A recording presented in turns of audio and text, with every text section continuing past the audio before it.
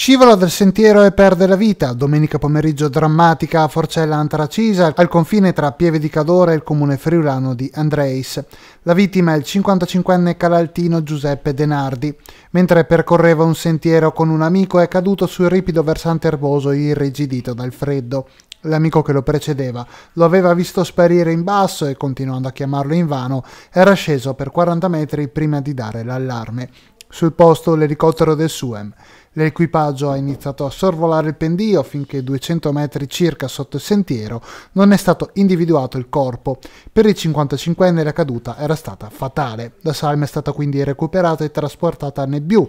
Il soccorritore è rimasto a terra e risalito fino dall'amico, raggiunto dal resto della squadra calatasi con una corda. Dopo essere stato assicurato, l'uomo è stato riportato sul sentiero e da lì accompagnato a valle.